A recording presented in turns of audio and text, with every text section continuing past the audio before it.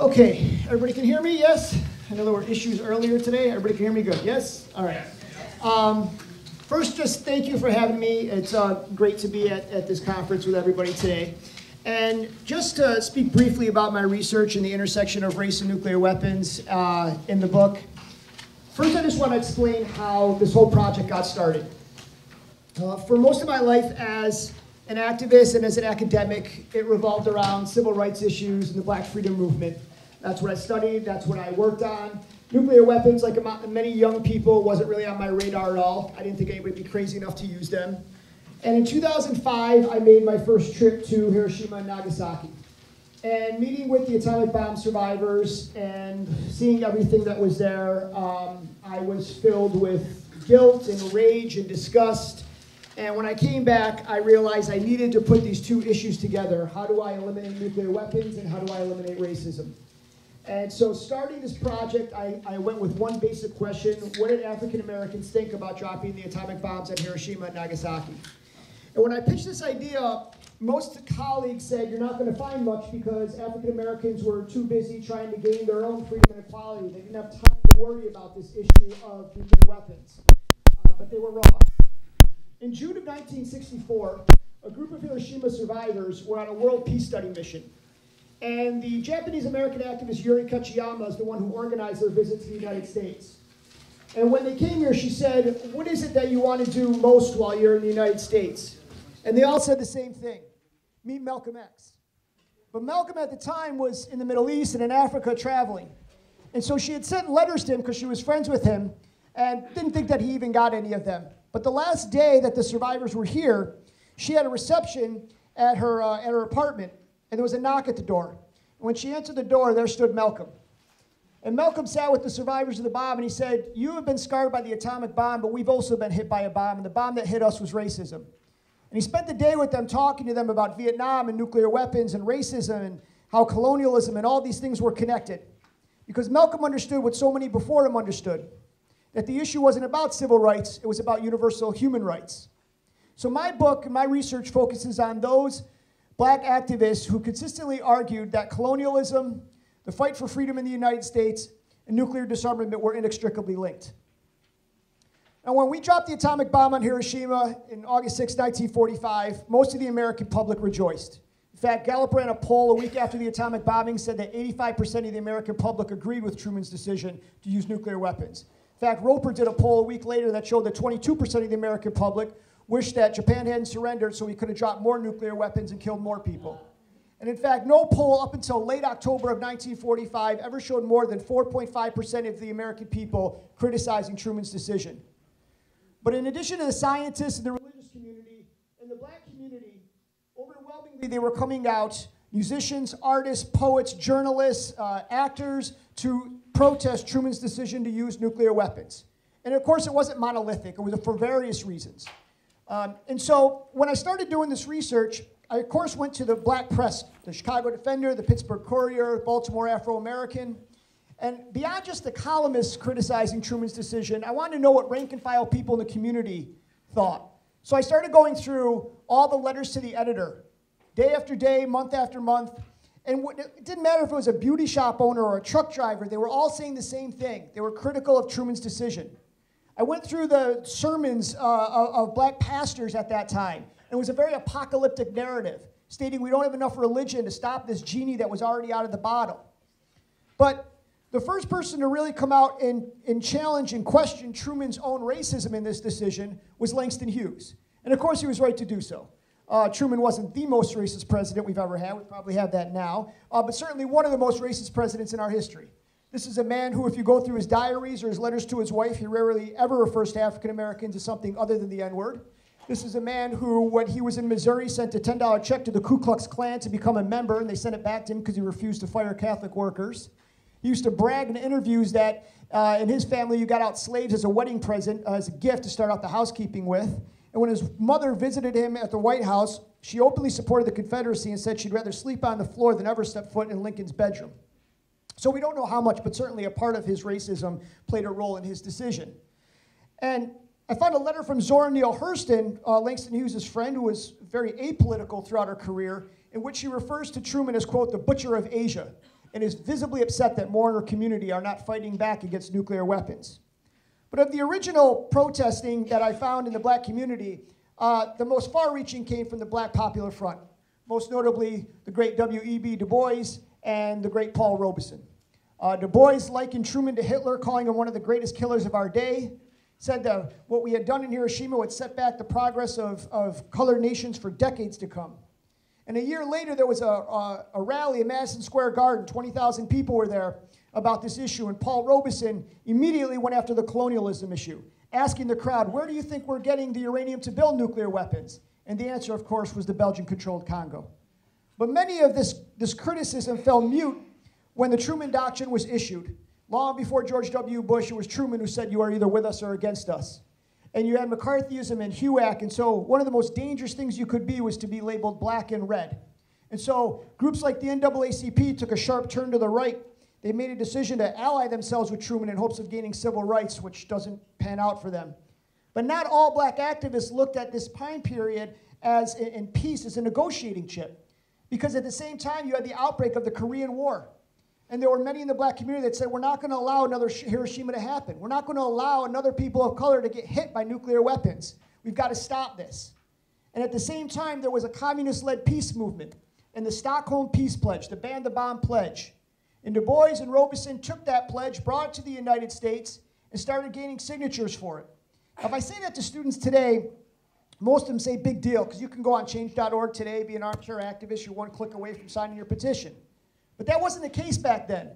People like Charlie Parker and Marian Anderson and Duke Ellington, 2.5 million people in the US signed that petition. There were real consequences. People lost their jobs, they were physically beaten, they were arrested. They brought up charges on Du Bois of being an agent to the Soviet Union, found not guilty. Robeson's whole career was destroyed in many cases over all of this. So it's extraordinary that on the cusp of the civil rights movement, you had so many in the black community that were still fighting for nuclear disarmament. And in the early 50s and mid 50s, so many things were joining together that show you these connections.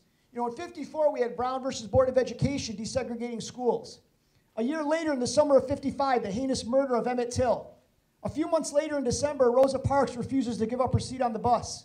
But people forget during that same year in 1955, you had the Bandung Conference, the first all African Asian conference of nations meeting together, and their platform was very clear. They were against colonialism, white supremacy, and nuclear disarmament. And many in the black community either attended or sent their regards. And at the same time, in the late 1950s, the French wanted to be a world power and announced they were going to test their first nuclear weapon. Where? In Africa, in the Sahara. And Ghana was going through their independence movement with Nkrumah. Algeria was in the middle of their war. And so there was an activist in the United States that saw all this playing out and how people in Ghana worried about the nuclear fallout and what it would do to the cocoa industry and said, I got to put these all together. And it was Bayard Rustin, who so many of my students had never heard of because he was gay, and so we don't want to talk about him. We try to ice him out of the movement. And so Rustin puts together a team of activists, British, African, and works with Nkrumah, and he goes to Africa to try to stop the French test, physically putting his body on the line. And not everybody here wanted him to do that. A. Philip Randolph and others wanted him here organizing for the primaries of the presidential election. But here Rustin is writing back saying, This is the most important work I can do. Don't you see how these things are all connected? Colonialism and racism and nuclear weapons. And the French end up testing their nuclear weapon, the military physically removing him and others. Um, but protests break out all over the continent, and Rustin still looked at it as a victory because Nkrumah followed it up with World Without the Bomb conferences and and other pieces to, to keep this issue on their radar. And of course, I can't talk about nuclear disarmament in the black community without mentioning Dr. King. Um, people talk about Dr. King and they talk about foreign policy, and many want to say that it was April 4th, 1967, his Beyond Vietnam speech, where he calls the United States, quote, the greatest purveyor of violence in the world today. That that was the moment he got into the foreign policy issue. But actually, if you look at nuclear weapons, you'll realize it was 10 years before that. In 1957 is when King first came out and declared he was against nuclear weapons and they needed to be banned. And he consistently argued this, telling students at Spelman and telling black pastors, uh, what does it matter if we're trying to integrate lunch counters and not be worried about the world in which we're trying to integrate? It makes no sense. And where was King learning all this from? His wife, of course. Coretta was a, long activist dating back to her days at Antioch College. She had been involved in Women's Strike for Peace, Women's International League of Peace and Freedom. Um, and so she was a seasoned activist who pushed him on this peace issue. And Coretta, like so many other black women, Lorraine Hansberry, who we now everybody thinks of as Raisin in the Sun, but she was a strong feminist, anti-nuclear activist who famously went to see a documentary of Hiroshima and came out and said, "No more Hiroshimas, not now, not ever." The last play Hansberry ever did was about a nuclear holocaust and what would happen to the survivors. And so, for a lot of these black women that were at the forefront of this, one thing is they had to deal in these peace movements that were mostly predominantly white middle class women of an internal racism. That went on in the peace movement across the board. At Women's Strike for Peace, there was a, uh, a national conference in which the black members wanted to carry signs that said desegregation or disintegration. And the white members said, absolutely not. We're not going to combine the issue of race and nuclear weapons. And it often took Coretta and others to kind of broker the deal to make sure um, that these things stayed front and center and were indeed connected. And this issue stays in the black community with Vietnam when, again, we threatened to use nuclear weapons multiple times on a people of color. Uh, it's there when you look at the Black Panther Party and the first statement the Black Panther Party ever read, executive mandate number one. They specifically talk about Hiroshima and Nagasaki and tie it to their community. And I asked Bobby Seale, co founder of the party, was that intentional? He said, Of course it was. We always looked at ourselves in an international context, which is why Eldridge and Kathleen Cleaver were asked to go to Japan and speak to atomic bomb survivors. And it stays there through the 1970s. Who was it that talked and advised Jimmy Carter not to build a neutron bomb? His UN ambassador, who was Andrew Young, Dr. King's right hand man. It was Andy Young who was constantly talking about being more active in South Africa, especially when they were then building their secret nuclear weapons program with the help of Israel. And then, of course, this is all leading to the 1980s. Uh, in some ways, the, the zenith, if you will, of the, of the nuclear disarmament movement. Reagan comes in and increases military spending by $180 billion, slashes social spending by $140 billion, uh, announced he's going to build the MX missile, and a, and a movement just goes into a, a, another direction in terms of how, how fast and how much it was organizing. And you see it coming from all directions. You know, when I was writing this book, I was also writing for the Huffington Post, and I got a call from a gentleman. He said, I need to talk to you uh, about, about your work. And uh, his name was Greg Johnson. And him and his wife Linda, at the time, were he was a librarian at Georgetown, African American, ordinary citizens, and they were so deeply interested in this issue. But when they reached out to the white anti-nuclear groups, mostly white groups, they said, the black community doesn't care about this. We're not going to go into your community. And so they said, the hell with it, we'll do it ourselves. And so with a rotary phone and one flyer, they started the group Blacks Against Nukes. Grew to hundreds of, of members in multiple chapters. They were featured in Ebony and Jet and Essence magazine, spoke in Hiroshima. Two ordinary people doing something extraordinary. And I'm so glad we have the more socially conscious athletes now, from Serena Williams to LeBron. Uh, when we talk about socially conscious athletes, we often think of the 68 Olympics with John Carlos and Tommie Smith. We think of, of course, Muhammad Ali. But there were other athletes that were socially conscious, especially in the 80s. They were called Athletes United for Peace. JoJo Washington, who played for the Boston Celtics, and Marianne Washington, the first female uh, African American Olympic runner. We had so many um, activists that were also athletes working with Russian athletes to try to stop this.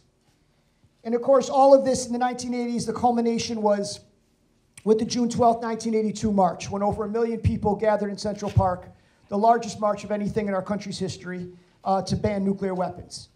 And that march, again, some of these issues came up.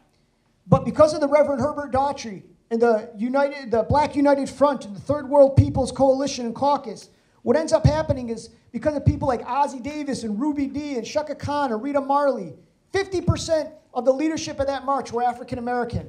And on that beautiful day, you had thousands of African Americans pouring out of Harlem and Bed-Stuy, all now marching for an end to nuclear weapons. Uh, certain President Barack Obama was a young reporter actually at that march. And as far as writing this book and kind of taking the chronology through the years of this, the hardest part for me was writing about President Obama. Um, in part because I was writing the book as he was still president. And the worst thing you want to do as a historian is predict something and then be wrong. But I knew I was going to have to address this. And the first thing to understand about Obama is the people that came before him in politics, right? Um, people like Ron Dellums, who we lost not too long ago. The Congressional Black Caucus used to be at the forefront of this issue. It was Ron Dellums who challenged Reagan on the MX missile, who goes to Utah, where it was supposed to be headquartered, and convinces Spencer Kimball, the head of the Utah of the Mormon Church, to come out against building it there. Right? It was people like Jesse Jackson who ran for president in 84 and 88 and actually had the strongest anti nuclear platform of any candidate. People like Harold Washington, who was one of Obama's heroes, the first black mayor uh, in Chicago, who won multiple awards for all his anti nuclear efforts. And so Obama was against nuclear weapons as a student and as a candidate and as a senator. And when he gets in office, uh, he, of course, gives the Prague speech, arguably the most anti nuclear speech any president has given outside of maybe John Kennedy's commencement address in June of 1963 at my alma mater, American University. And I used to go to Japan, teach in Hiroshima and Nagasaki every summer um, with American University. And I remember going back to Hiroshima the year after he gave the Prague speech. The mayor in Hiroshima started a campaign called the Obama Majority, in which people were wearing Obama Majority t shirts in Hiroshima. Japanese citizens were asking me if I was American and then handing me stacks of letters and saying, send these to your president to thank him for what he's doing. It was the first time in my life, of all the years going to Hiroshima, that I was actually proud of who my president was um, and what we were doing. And Obama didn't stop there. He passed the New START Treaty. He had nuclear summits to get nuclear weapons materials in safe hands. If you think back, he got enough uh, material to build four nuclear weapons out of Ukraine just before it falls into chaos.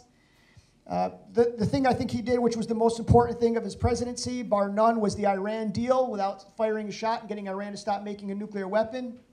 And on a personal note, because it was something I advocated for and certainly had nothing to do with, but constantly publicly advocated for, is, is him visiting Hiroshima. And I, I won't ever forget being up at 3 in the morning on Skype with Hiroshima survivors and crying, seeing my president in Hiroshima. Now, does that mean I was happy with everything Obama did? Of course not. He should have certainly got rid of more nuclear weapons, not signed on to the trillion dollar modernization. He should have taken them off hair trigger alert before he left office. Um, but I don't put that on Obama, I put that on us. Because he never said, yes, I can. He said, yes, we can. And if we really wanted him or anybody else to do something, we have to push them. And if there were millions of people in the streets, he maybe would have acted. Anything that we've accomplished in this country, we've pushed for it, and that's how it's gotten accomplished. So, what now? What can we learn from this research? Well, I'll be honest with you. As somebody that's dedicated my entire life to eliminating nuclear weapons and eliminating racism and having a white supremacist with sole authority of our nuclear weapons in the White House right now, it's pretty easy for me to feel defeated. But I made a promise to the Hibakusha that I would never stop fighting on this issue, and so I feel you got to fight now more than ever in that regard. Uh, Trump has the power to, with 32 warheads to decimate North Korea, 90 for Iran, um, 147 for Russia. And so, that regard, we are really the only fail-safe left. Um, in terms of connecting race to nuclear weapons, I don't think it's any clearer than you have right now. Trump and Putin have 90% of the world's nuclear weapons. Two white supremacist authoritarian leaders with 90% of the nuclear arsenal. And on the other side, as Ray will talk about, you have ICAN, you have over 100 nations, mostly non white, saying they want to ban nuclear weapons. It can't be any starker. Here's our president who got the coveted Ku Klux Klan endorsement, who said he wants to resume nuclear testing. We know what that does to people of color. He says that Various countries should build their own nuclear arsenals, like Japan and South Korea. Um, he has said now that the Mideast, uh, Saudi Arabia and others, we should just destroy their whole families, terrorists. We should take out the Iran deal. And his economics plan has been called Reaganomics on steroids. And so, my big thing is that to learn from those as a historian who came before us. You know, when I researched this book and I, and I saw that there were so many people before us who were in their own misery, who were in the abyss trying to fight for their own civil rights and their survival, and then managed to wield their collective power so that we could have a world free of nuclear weapons, it's extraordinary. I know that racism and nuclear weapons are still going to be here when I die. But to do this, we got to think beyond the present moment thinking beyond our generation um, rather than surrendering in despair. That's what this activism is all about. You know, King said the moral arc of the universe is long, but it bends towards justice, but not unless we bend it. And so, yes, we have to make sure that our LGBTQ community is treated equally. We have to make sure that our undocumented immigrants are protected. We need to make sure that our climate change is addressed, and we need to keep the silos on the farms and see how these things are connected. But as Dr. King said, what does it matter if we finally achieve social justice, if we surely and, make sure that black lives do indeed matter if we're all dead from nuclear war? And so we start to connect these issues, we start to look at it like so many people in our past did, then we'll start to understand that, as perhaps Malcolm X understood it best, the issue for us has never really been about civil rights. It is, was, and can always will be about universal human rights. Thank you.